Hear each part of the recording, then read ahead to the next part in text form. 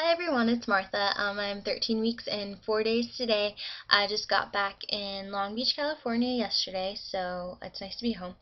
Um, symptoms that I've been having, um, I've been really like exhausted. I haven't been feeling like tired really, just more like not enough energy. And the past like few days I've been getting like um acid reflux or heartburn, I guess you'd say, like where I have like the acid in my throat, but it doesn't really like come up too much, but I can feel it and it's pretty gross. Um, food cravings, um, I haven't really been interested in any um, sweets or like cakes or something. Uh, it just doesn't sound good to me anymore. And then garlic, I can't stand garlic. It's just gross, and I never want to eat it on anything. And before, like I liked garlic a lot. Like I would, don't mind it before. Um, I've been having also like some cramping like in my uterus, I guess you would say.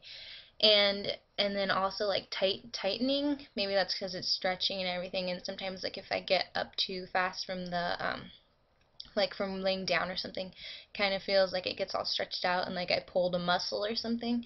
I think that's normal, but um I hope. and also I'm very emotional now. Um, the other day I was watching Elf and I cried, and I never like used to ever cry in movies, so it's kind of weird. Like I would never cry like in dramas or anything, and now I'm crying in a Christmas movie. Um, my weight gain is like two pounds in like the past few weeks. I finally gained some weight, um, and I think I've gained like two inches about. Not quite sure. Um, and since I've been back yesterday, I um, went to the doctor's and I got to listen to the heartbeat for the first time. So that was really nice. It was like a really um, loud, like swooshing sound. I thought it would sound a little bit different than what it did. Um, the beats per minute was 155, and um, the doctor like measured my uterus but she didn't tell me what it was, so I'm guessing it was normal, or if it wasn't, maybe she would say something.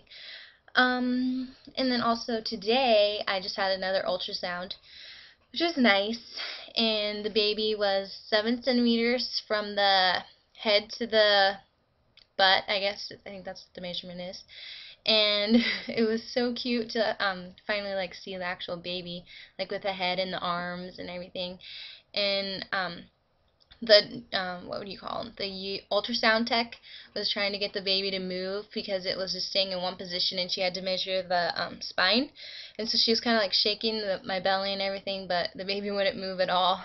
So that was kind of sweet to see. Like it already has like a um, what would you say? a nice personality. Um, I um, actually got into uh, a fetal growth study they asked me if I wanted to be a part of, and it's actually like really nice, I guess.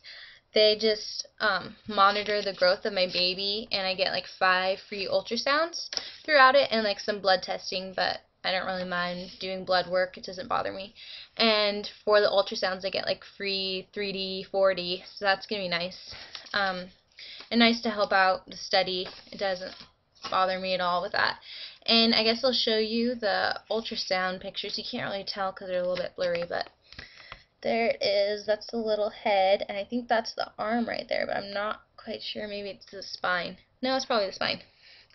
And then that's the belly right there.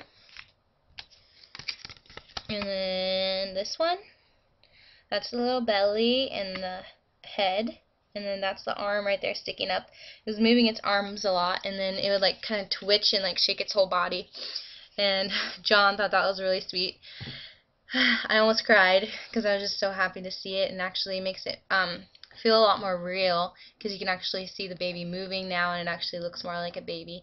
So I'm really looking forward to that. Um, I have an appointment um, the 18th, which is next Wednesday, I think and that's to start the study. I think I actually get another ultrasound then, um, so they can measure the baby and everything, make sure it's on track. On track. Um, I'm not quite sure. I think that's what they're gonna do, and then also ask me questions like um, about my history and then John's history to make sure that I don't know it doesn't contribute to the to the growth of the baby, something like that.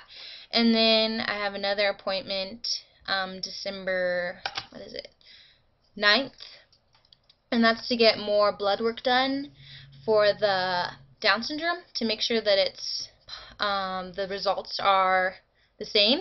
And actually, I forgot to say, but I got the blood results back, and it was negative for Down syndrome, and then I forgot what the other one was. Neural tube deficiency, I want to say something like that. Neural something. And so that was really good to hear. So I'll get another like confirmation December. Wait, I probably want to get the same day, so maybe a couple weeks after that. Um, yeah, so that's everything that's happening. I will show my belly, and that will be it. um, so there it is. I actually have like a bump now. When I got back, everyone could tell. They're like, wow, you grew. I did. And, um, yeah, that's about it. So I will update later.